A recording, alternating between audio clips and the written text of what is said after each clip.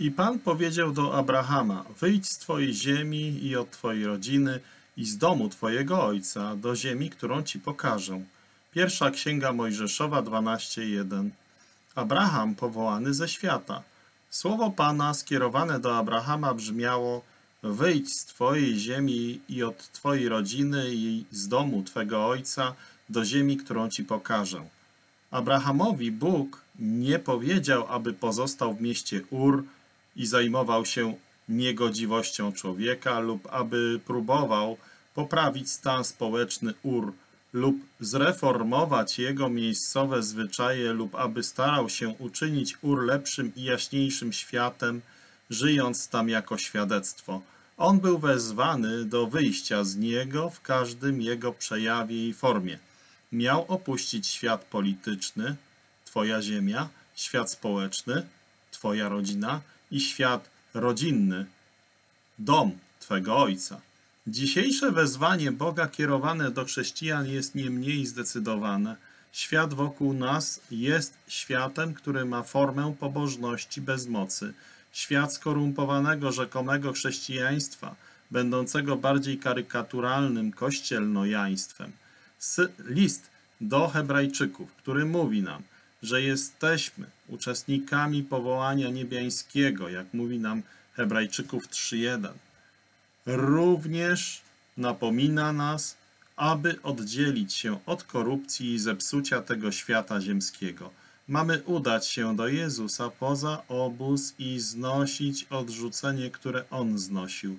Wyjdźmy więc do Niego poza obóz, nosząc Jego hańbę, jak mówi Hebrajczyków 13:13. 13. Nie chodzi o to, że mamy gardzić władzami. Są one wciąż powołane przez Boga. Nie możemy też zaniedbać więzi rodzinnych. Podtrzymywanie i pielęgnowanie ich jest nakazane przez Boga. Nie możemy też przestać być uprzejmi, mili i czynić dobrze wszystkim ludziom, gdy mamy ku temu okazję. Jako wierzący jesteśmy przez Boga wezwani do oddzielenia się od brania udziału w politycznych działaniach świata. Również przez Boga zobowiązani jesteśmy do odseparowania się od życia społecznego całej tej sferze, w całej tej sferze, w której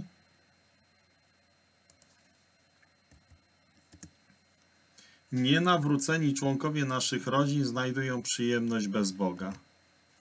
Nie prosi nas o reformowanie świata lub staranie się poprawiania jego stanu, ale nakazuje nam radykalnie odciąć się i wyjść z niego. Słowo Boże jest w tej sprawie niezmiernie, niezmienne i niezmiernie niezmienne i wciąż ogłasza.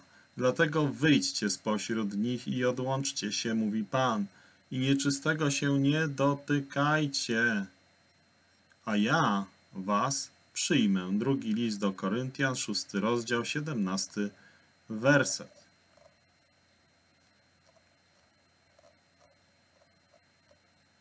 I Pan powiedział do Abrahama, wyjdź z twojej ziemi i od twojej rodziny i z domu twego ojca do ziemi, którą ci pokażę. Księga pierwsza Mojżeszowa, dwunasty rozdział, pierwszy werset.